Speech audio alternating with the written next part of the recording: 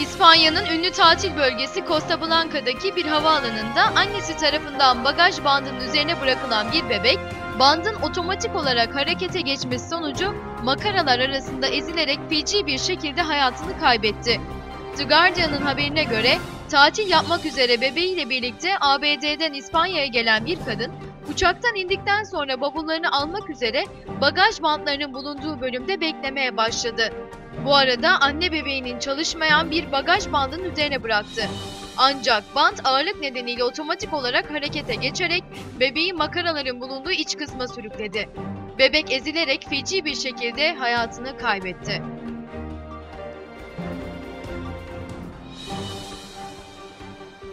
No, no lo he visto, me lo han contado. Un bebé que en la cinta de equipaje...